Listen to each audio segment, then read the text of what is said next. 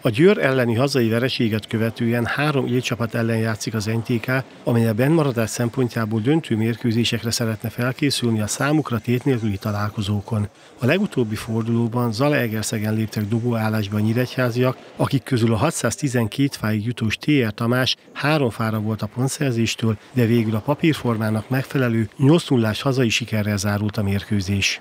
Mondhatjuk azt, hogy mindkét csapat különféle célokkal vette ezt a mérkőzést. A hazaiak a következő BL fordulóra hangolnak, ezért teljes csapat találtak ki, még nálunk az előző hazai mérkőzéshez képest négy játékos hiányzott a hatfős keretből, de mondhatnánk azt, hogy így a többiek is játék lehetőséget kaptak, és azt lehet mondani, hogy csere nélkül játszottuk le ezt a mérkőzést, így egy könnyedebb edzésnek kellett felfognunk, és igen, is azt lehet mondani, hogy jó hatással volt Jónián játékosra, hogy abszolút tét nélkül játszhatott. Szombaton ismét az esélytelenek nyugalmával játszhatnak a nyíregyháziak, mivel Szegedre látogat az NTK.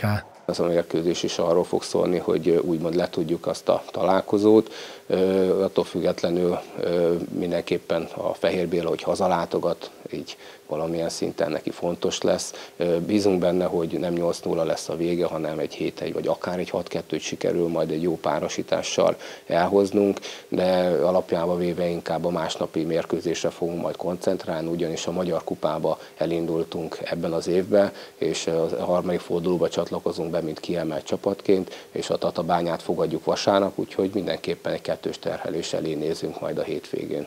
A Superliga tabelláját a Zalaegerszeg vezeti 24 ponttal a szintén 24 pontos Szeged előtt. A Nyíregyházi Tekeklub 8 ponttal a már kiesést jelentő 9. helyen várja a folytatást.